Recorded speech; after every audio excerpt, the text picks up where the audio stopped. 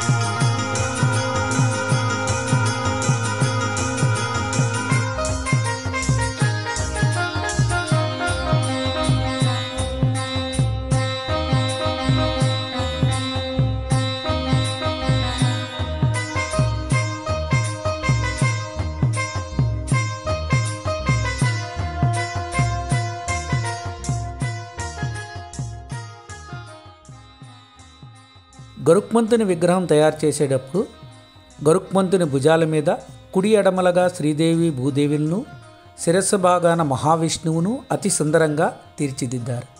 కానీ విగ్రహాన్ని తరలిస్తున్నప్పుడు అకస్మాత్తుగా ఈ మూడు విగ్రహాలు అంటే శ్రీదేవి భూదేవి మరియు మహావిష్ణువుల తలలు కత్తితో నరికినట్లుగా తెగి కింద పడ్డాయట.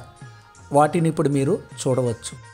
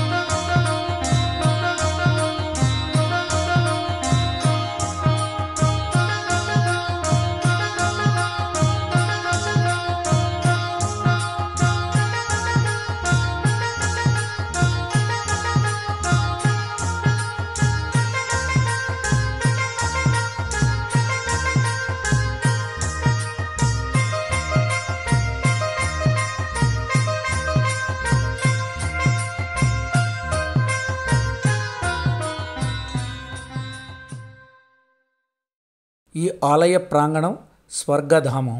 ఈ ఆలయాన్ని సందర్శించిన ఆయురారోగ్యాలు కలుగుతాయని ఒక నమ్మకం.